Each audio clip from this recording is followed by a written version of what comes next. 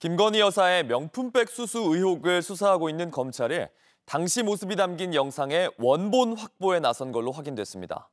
이원석 검찰총장은 신속하고 엄정하게 수사하겠다는 입장을 직접 밝혔습니다. 박현주 기자입니다.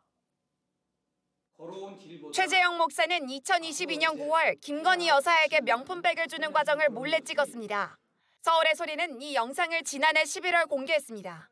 전담 수사팀을 꾸린 검찰이 서울의 소리와 최 목사 측에 영상의 원본을 제출해달라고 요청한 것으로 확인됐습니다.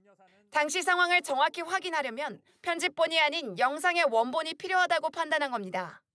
검찰은 지난해 12월 윤석열 대통령 부부를 고발한 서울의 소리 측을 오는 20일 고발인 신분으로 조사하는 방안을 검토하고 있습니다.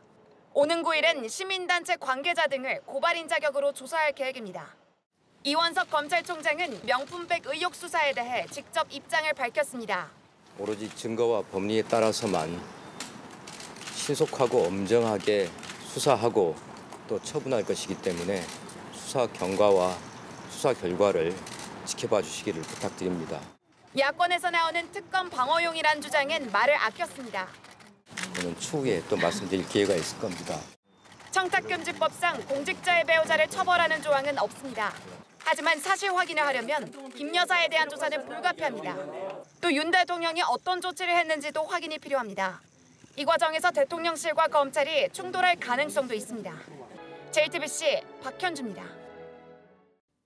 아침엔 앵커 정재우입니다. 지금 이 기사 가장 먼저 매일 아침 7시 반에 보실 수 있습니다.